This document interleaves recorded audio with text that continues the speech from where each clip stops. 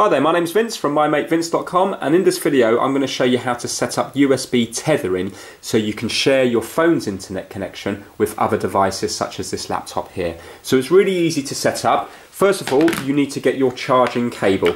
So on this particular Android phone I've got a USB to a micro USB. So I'm just going to plug the USB into a spare USB port on the laptop.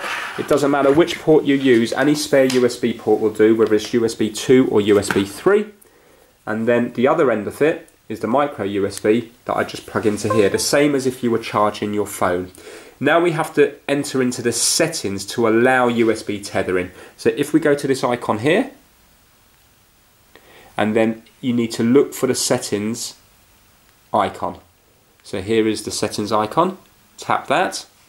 Then underneath wireless and networks, you will see it says more. So just tap more. And then underneath this menu here, it will say tethering and portable hotspot. Now you just tap that.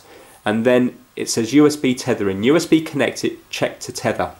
If this was blanked out, it means you haven't got your USB connected. So connect your USB first, and then all you need to do is hold that down there. And right now it is tethered, and if we have a look at the internet, it's not working at the moment, but give it about 30 seconds to a minute, sometimes it might take a little bit longer, and it will start connecting to the internet.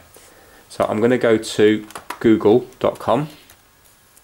Oh, there we go, it's already come up with BBC. You go to google.co.uk, and at the moment you can see now it is connected to the internet.